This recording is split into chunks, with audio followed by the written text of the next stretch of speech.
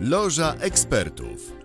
Dzień dobry, witam serdecznie Państwa w kolejnym odcinku Loży Ekspertów. Dziś moim i Państwa gościem jest Pani Karolina Sybilska, ekspert do spraw ochrony danych osobowych. Witam serdecznie Pani Karolino.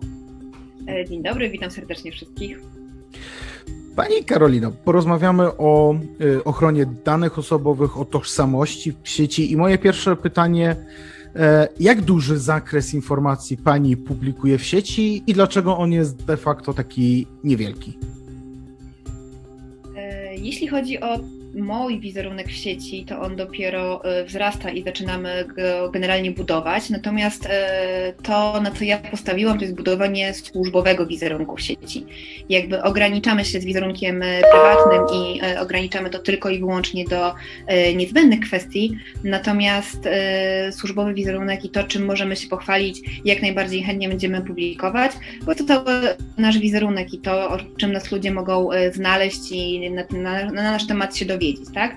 Natomiast jakby jeżeli chodzi o życie prywatne, staramy się ograniczać do minimum. Dlaczego? To pewnie zaraz sobie o tym powiemy. No właśnie, bo chcemy dzisiaj porozmawiać o zagrożeniach w sieci przy okazji tworzenia wizerunku. Ja we swoich wcześniejszych audycjach e, mhm. z rozmówcami rozmawiałem o tym, jak go tworzyć, ale teraz idziemy e, krok dalej. No i właśnie, Jakie pani e, lokalizuje takie główne e, zagrożenia, które właśnie e, wiążą się z tym obszarem? Przede wszystkim musimy sobie uzmysłowić, uzmysłowić, e, że wizerunek w sieci nie jest tylko zagrożeniem, ale może być również też e, pozytywny, w takim kontekście, że możemy go również wykorzystywać pozytywnie i taki miało to mieć wydźwięk. Jakby generalnie sieć, wszystkie media społecznościowe, social media powinny działać w ramach e, pozytywnego wizerunku. Natomiast mm, bardzo często wykorzystujemy, nadinterpretujemy pewne e, rzeczy, co powoduje, że występuje duża ilość zagrożeń, chociażby czy cyberprzemoc, czy e, depresja. Więc jakby musimy sobie rozgraniczyć to, że wizerunek sieci może podzielić się właśnie na prywatny i na e, służbowy. Przy służbowym, a tutaj troszeczkę takiej wiedzy z zakresu ochrony danych osobowych, pracodawca musi pamiętać, że musimy wyrazić zgodę na to, żeby nas publikować. Wtedy dostajemy konkrety, mówi jak pracujemy, o czym, za co odpowiadamy w firmie i to jest ok, to możemy jak najbardziej się zgodzić. To jest dla nas też bardzo e, dobry PR i budowanie naszej marki osobistej. Natomiast w życiu prywatnym często o tym zapominamy i e, do sieci wrzucamy wszystko. Wszystkie zdjęcia z wakacji, zdjęcia naszych nowonarodzonych dzieci, e, w negliżu, czy to też dzieci, czy to nasze, a potem z tego tytułu możemy mieć dużą ilość problemów. Nasze zdjęcia mogą być wykorzystane czy to przez cyberprzestępców, czy to do podszywania się pod inny wizerunek.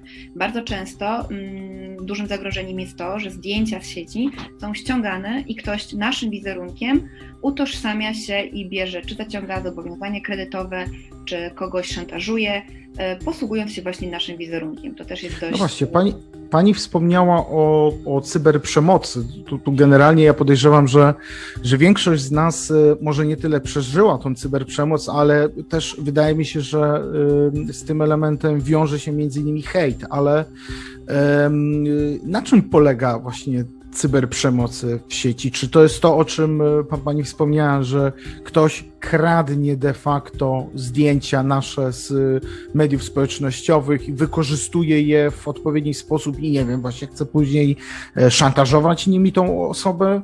W jaki sposób pani to interpretuje? E, cyberprzemoc może objawiać się w przeróżny sposób. Przede wszystkim ona rodzi się dlatego, że czujemy się bezkarni i anonimowi. To jest jeden z powodów, dlaczego tak naprawdę ona powstaje.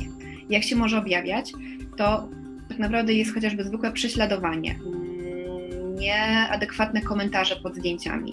E, to jest tak zwany też e, czy phishing, czy sexting, czy różnego tego typu pojęcia.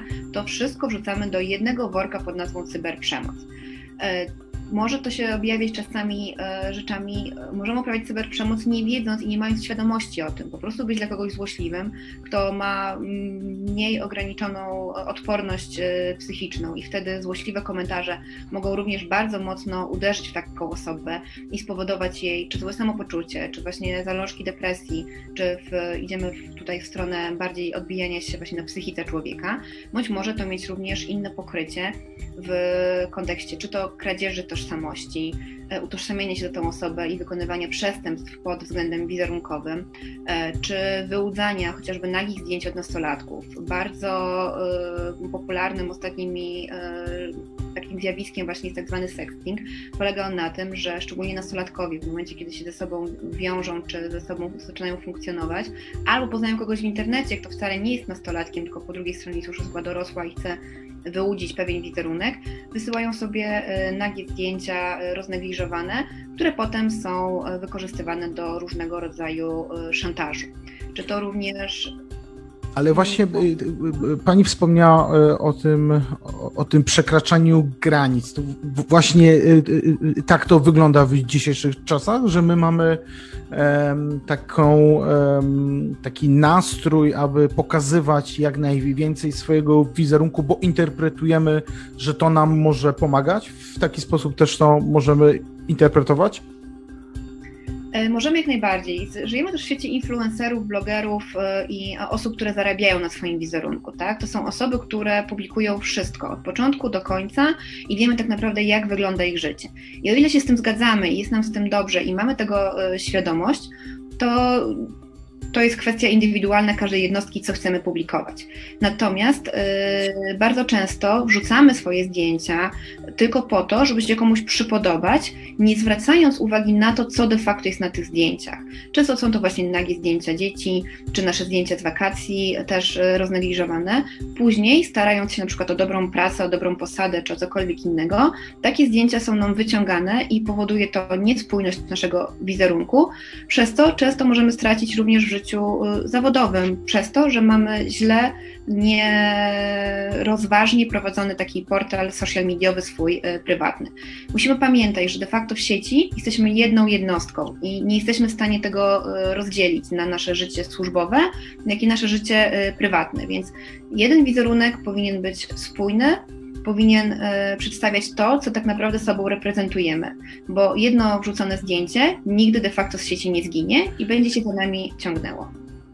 No właśnie, i to jest e, bardzo trudny element, aby ten wizerunek i zawodowy, i, i prywatny e, spoić w jedną całość. Ale właśnie podsumowując teraz tą część radiową naszej rozmowy, jeżeli mielibyśmy radiosłuchaczom dać jakieś rady właśnie, jak w tym obszarze e, funkcjonować, to co Pani by poleciła osobom, które e, budują swój wizerunek w sieci, chcą, żeby on był właśnie spójny? Jak one mają postępować?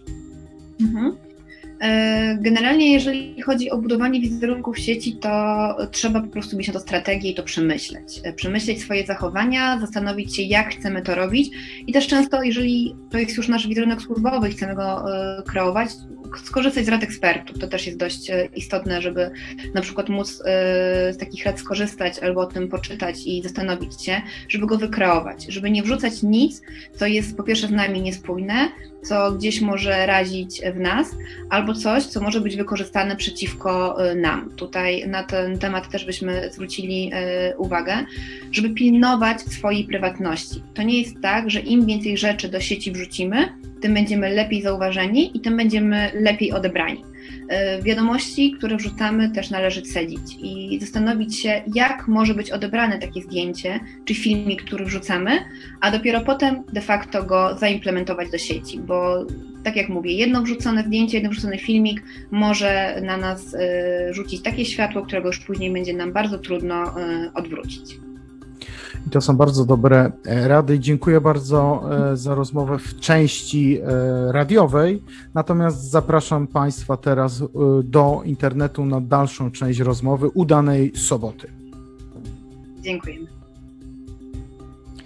Jesteśmy już w internecie, więc możemy rozmawiać dalej. Na antenie wspominaliśmy o tym budowaniu tożsamości, o budowaniu pewnego wizerunku w sieci. Natomiast rzadko mówi się o tych e, zagrożeniach w sferze materialnej, jeżeli mówimy również e, mm, o, o, o sieci. Powiem szczerze, że mnie szczególnie zaciekawiła kiedy przed naszą rozmową analizowaliśmy, o czym będziemy rozmawiać, pani wspominała o wykorzystywaniu publicznych sieci Wi-Fi i ładowarek. To może od tego rozpocznijmy. Co jest w tym takiego złego, poza tym, że chcę naładować sobie komórkę, żeby móc funkcjonować dalej? E, tutaj przechodzimy już do mojego takiego tematu zawodowego, którym zajmujemy się na co dzień. Mm, to są tak zwane zabezpieczenia techniczne. I tutaj mm, musimy zwrócić uwagę, o ile e, jeżeli korzystamy ze służbowych sprzętów, to absolutnie jest to zakazane i każda firma powinna nam tego zakazać. Teraz powiem dlaczego.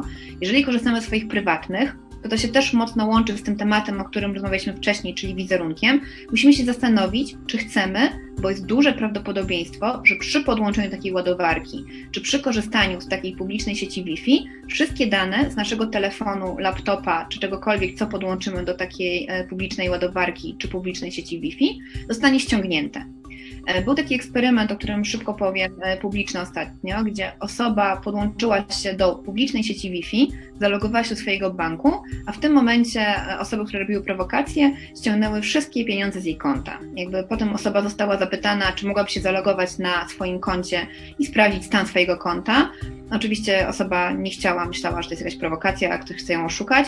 W końcu de facto zgodziła się zalogować i patrzy, że na wszystkich kontach, również oszczędnościowych podłączonych do konta głównego, jest kwota 00.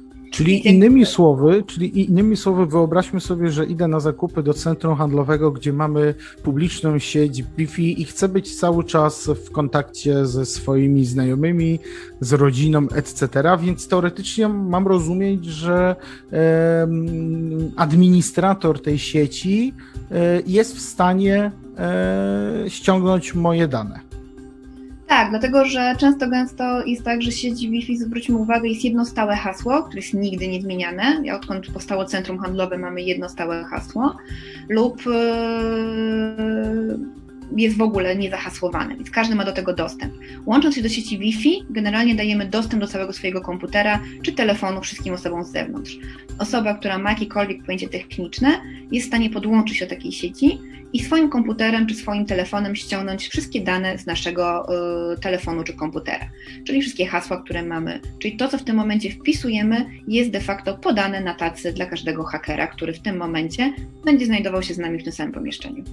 No to teraz e, po naszej rozmowie trzeba byłoby w przyszłym tygodniu mm, zrobić test w jednym z warszawskich, e, przepraszam, z opolskich centrum e, handlowych i zobaczyć, jak zmniejszyła się liczba wykorzystywanych sieci Wi-Fi, jeżeli ktoś to z nas słyszał. Bezpieczniejsze jest, jeżeli już musimy skorzystać, to po pierwsze y, korzystać tylko ze stron y, ogólnodostępnych, nie takich stron, gdzie logujemy się podając swój login i hasło. To tutaj bym tego bardzo mocno odradzała i, i unikała. Lub sieci Wi-Fi, które na przykład oferują nam czasami e, sieci komórkowe, gdzie dostajemy indywidualne hasło na e, telefon komórkowy, gdzie jest to ograniczona sieć na przykład na pół godziny, e, bądź gdzieś, gdzie to hasło jest często zmieniane. A to tak samo jest przestroga dla naszych domowych sieci Wi-Fi. Zastanówmy się, jak często zmieniamy hasło. Najczęściej odpowiedzią Wcale. jest odkąd tam założyli internet, hasło nie było zmieniane. A de facto złamanie hasła ośmioznakowego to jest kwestia 3-4 godzin, więc jakby ktoś chciał, mieszkając za blokiem, złamać nasze hasło, to w przeciągu 3-4 godzin nie jest to żaden y, problem zrobić. Ale to, ale to w takim razie ja mam takie jeszcze szybkie pytanie, jak już mówimy o tym y, obszarze. Y, przypominam sobie, jak w jednej z opolskich restauracji poprosiłem o hasło do, do Wi-Fi i uzyskałem odpowiedź, nie powiem ci. Po krótkiej konsternacji e, i zapytaniu, ale to czy ja zapłacić mam za to hasło? A mhm. kelner z uśmiechem na twarzy już mówi, no, no nie powiem ci, no takie jest hasło. Więc pytanie, czy, czy idziemy w tą stronę, właśnie w takie hasła, e, nazwijmy to niecodzienne? E, powinniśmy iść w stronę haseł niecodziennych, ale raczej kwestia nie powiem ci nie jest e, kwestią niecodzienności hasła. Bardziej powinno one posiadać znaki szczególne, typu y, małpa, y, hashtag i tym podobne rzeczy, e, powinny posiadać cyfry i tym e, podobne rzeczy. Więc jakby złamanie hasła, które składa się tylko i wyłącznie z konkretnego słowa, nie jest żadnym zabezpieczeniem. Jakby nawet kwestia dziwnego słowa, wymyślonego, którego ktoś rzadko używa, czy specyficznego, nie jest formą zabezpieczenia. Formą zabezpieczenia jest raczej ułożenie ciągu jakiegoś jakiegoś ciągu znaków, który składa się z mniej lub bardziej chaotycznych yy, liczb, znaków, znaków szczególnych, wielkich, małych liter. To powinno być pomieszanie z poplątaniem. W dodatku im dłuższe, tym lepsze. Wiadomo, że w takim życiu codziennym nie jesteśmy w stanie zapamiętać takiego hasła. Natomiast jeżeli mamy dość yy, dane wrażliwe, które chcemy yy, chronić i które, na których nam zależy, to te hasła powinny być im bardziej skomplikowane, tym lepsze. Jeszcze chciałbym chwilę, e, żebyśmy porozmawiali o mm, prawu do bycia zapomnianym. Czy może Pani powiedzieć, e, co kryje się pod tym bardzo ciekawym określeniem, oczywiście prawnym? To troszeczkę zahaczymy o ten temat, e, o którym mówiliśmy w pierwszej części naszej audycji, czyli na przykład o naszym wizerunku. Bardzo często, jak nie myślimy o tym, co wrzucamy do sieci, pewnym momencie stwierdzamy, że chcielibyśmy usunąć pewne treści. I co do zasady przepisy prawne, y, szczególnie RODO, które nam weszło w 2018 roku, daje nam taką możliwość, czyli tak zwane właśnie prawo do bycia zapomnianym. Możemy zgłosić się do właściciela strony internetowej, do właściciela social mediów, y, do administratora i poprosić o to, żeby takie zdjęcie czy taki nasz wpis usunął na stałe. I to do zasady oni zobowiązane to zrobić i de facto y, powinno to być na tym etapie załatwione i sprawa powinna być jasna klarowna i te rzeczy w sieci już nie powinny funkcjonować. Natomiast sieć internet jest jak trochę worek bez dna. Jeżeli coś już tam wrzucimy, to nie jesteśmy w stanie tego usunąć. Wystarczy, że ktoś zrobił z tego print screena, ktoś zapisał to na innej stronie, ktoś podlinkował to do innej strony, ktoś to skopiował i wykorzystał w innym artykule itd., tak itd. Tak Możliwości jest mnogo, co oznacza, że taki właściciel danego, y, danej strony, danego portalu, on usunie ten wpis ze swojej strony. Natomiast nie oznacza to, że ten nasz wizerunek, czy ten nasz wpis, czy cokolwiek, co umieściliśmy w sieci, nie funkcjonuje nigdzie dalej. No ale Czyli czy my dlatego... w takim razie mamy jakiekolwiek y, pole działania właśnie w tym momencie, o którym Pani powiedziała, kiedy tak naprawdę to domino e, ruszyło i y, przychodzi na, na różne kierunki, na, na różne obszary? Trochę tak naprawdę to jest e, kwestia y, myślenia od samego początku, czyli myślenia tego, co wrzucamy do sieci. To jest jedno, bo jedynym naszym wyjściem de facto i tak naprawdę walki z cyberprzemocą to jest e, dość ograniczony węzeł. To jest edukacja, edukacja, edukacja, czyli myślenie tego, co wrzucamy do sieci. A drugą rzeczą, jeżeli już coś chcemy usunąć, to oczywiście przepisy nam na to dają możliwość, ale musimy się zgłaszać do każdego właściciela strony, na którym ten nasz wizerunek istnieje czy funkcjonuje. Czyli jeżeli coś już rzuciliśmy i to zostało powielone, to my zgłaszamy się tylko do jednej osoby, czyli ta jedna osoba ma. Też wyobraźmy sobie, będąc takim właścicielem takiej strony, że teraz ja jako właściciel strony musiałabym poszukać wszystkich, którzy skopiowali ode mnie informacje i żądać usunięcia. Nie jest to realne. Czyli tak naprawdę jest to po prostu nasza odpowiedzialność i bierzmy odpowiedzialność za to, co wrzucamy do sieci. I to jest doskonałe podsumowanie właśnie naszej rozmowy, czyli rozwaga, odpowiedzialność i przemyślenie tego, w jaki sposób ten nasz wizerunek jest e, budowany. Pani Karolino, bardzo dziękuję za rozmowę, za te uwagi, które Pani przekazała e, i no, życzę powodzenia w e, swojej dalszej pracy, karierze czy budowaniu właśnie również wizerunku. Raz jeszcze Pani bardzo dziękuję. Dziękuję bardzo za rozmowę. Loża ekspertów.